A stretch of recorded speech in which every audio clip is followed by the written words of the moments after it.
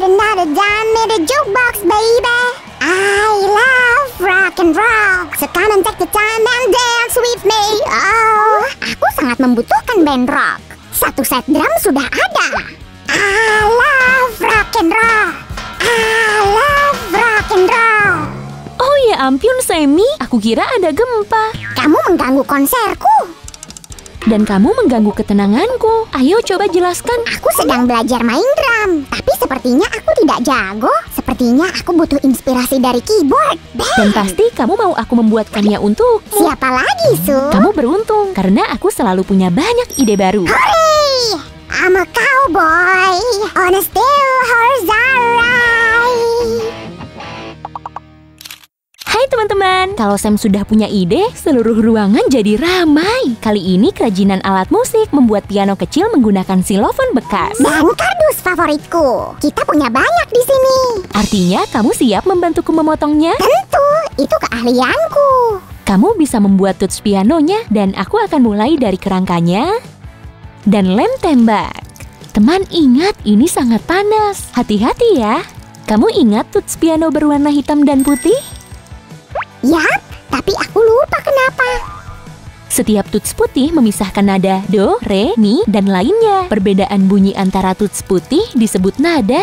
Artinya re satu nada lebih tinggi dari do. Ya ampun, aku ingat mengapa kita butuh tuts hitam. Mereka setengah nada, sedikit lebih tinggi dari do, tapi sedikit lebih rendah dibanding re. Betul, Semi. Kamu sudah menguasai teorinya. Kupikir kamu akan cepat belajar main piano mini kita ini. Kalian sepakat kan teman? Klik suka ya. Untuk bagian yang melengkung, kita gunakan kardus yang lentur. Untuk membuatnya lentur, kupotong sedikit lapisan atasnya, lalu rekatkan lapisan kedua. Karena penyangga pianonya harus kuat supaya bisa menyangga isinya, bagian selanjutnya akan ditahan oleh kawat engsel. Mari kita buat dengan hati-hati pakai tang. Seperti ini. Jepit-jepit, ini dia. Dan buat beberapa buah lagi seperti ini.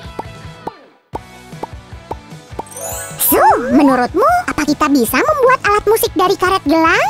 Hmm, mungkin. Tapi kamu bawa dulu ke sini.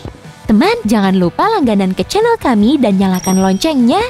Walah, Su, aku membuatnya. Semi, itu bukan suara musik. Baiklah, kita akan lihat gimana kamu menciptakan musik dengan karet gelang. Pasti berhasil. Lihat betapa bagus susunannya ini. Berikutnya giliranmu, Semi. Apa tutsnya sudah siap? Opsi, kamu menggangguku bicara. Ayo kita lanjutkan sementara Semi sibuk membuat tuts. Teman-teman, kamu ingat saat kita bicara soal tuts piano hitam dan putih? Aku mengelem bentuk tuts hitamnya. Betul sekali, mereka hanya dekorasi. Mereka tidak akan berbunyi. Tapi, shh, jangan bilang pada Sam. Tentang apa?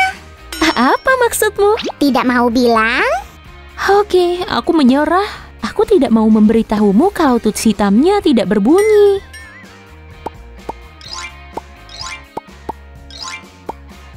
Hanya itu? Kamu pikir aku akan sedih? Su, ada banyak tuts putih yang bisa kumainkan. Senangnya kamu bisa berpikiran positif, Semi. Semi merupakan ahli kardus profesional. Tanpa diberitahu, dia paham kalau tutsnya harus dibuat dari beberapa lapis kardus. Tentu, kita membuat banyak kerajinan dari kardus bersamamu. Pada tahap ini, kita harus super akurat karena kita akan mengelem bagian silofonnya di tatakan kayu. Seperti ini. Semi, aku dengar ada yang jatuh. Ada apa? Em, aku hanya mengecek sesuatu. Kamu mau memperlihatkan hasilnya? Tentu, Suzy. Wow, di mana kamu menemukannya? Mereka tergeletak di meja, bentuknya seperti permen. Ternyata mereka keras dan berat. Ya, ini tantangan untuk memanfaatkannya. Batang-batang ini mengingatkanku pada permen karet. Kamu jangan memakannya ya. Jangan ulangi kesalahanku. Tutsnya mungkin terlihat letoy, tapi ketika sudah dikaitkan dengan karet gelang, semuanya akan sempurna.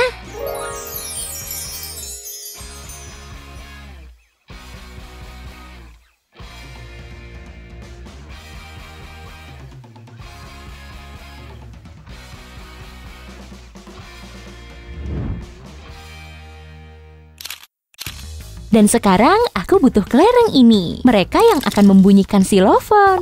So, apa ini bekerja seperti piano sungguhan? Tidak, sistem piano sungguhan lebih rumit. Tapi caranya membuat suara cukup mirip. Palu kecil ini akan ditarik oleh tali dari dalam, lalu bunyinya akan keluar. Ada keyboard lain seperti organ dan harpsichord. Dan apa bedanya? Harpsichord merupakan alat musik berbasis senar. Mekanismenya mirip memetik senar pada gitar. Organ merupakan keyboard brass tanpa senar. Sistemnya punya pipa beragam ukuran. Beberapa pipa organ bisa setinggi pondok kecil. Wow, ayo kita buat organ dari kardus, so. Pastinya keren banget. Kita bakal butuh banyak sekali kardus, Semi. Aku pikir hampir tidak mungkin. So, jangan katakan tidak mungkin padaku.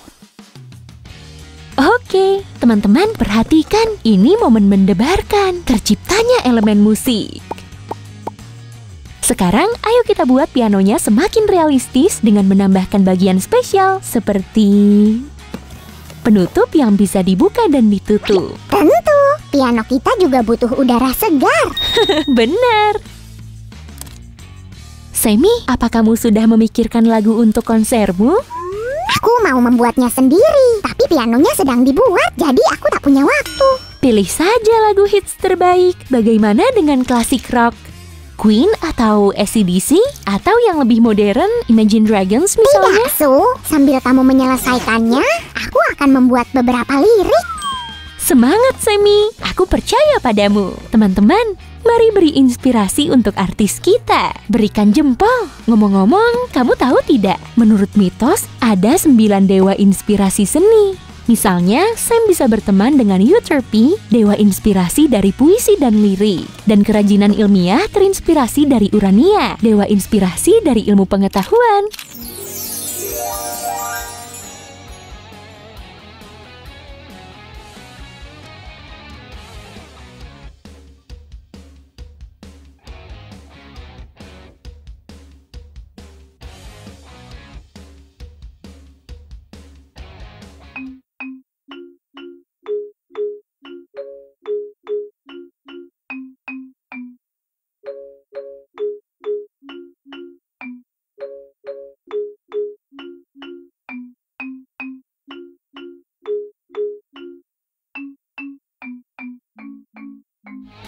Saatnya kita sambut sang maestro Sam. Su, kamu mengacaukannya. Aku bintang rock. Ikuti aku. Lagu ini lagu terbaik di dunia. Persahabatan Sam si Jelly dan Su. Let's rock! Em, sedikit aneh Semi, tapi nadanya bagus juga. Iya deh. Teman-teman, buruan langganan channel kami. Tekan tombol loncengnya bisa dengan mouse atau jarimu supaya selalu jadi yang pertama untuk menonton video terbaru kami. Sampai jumpa. Sampai jumpa. Rock on.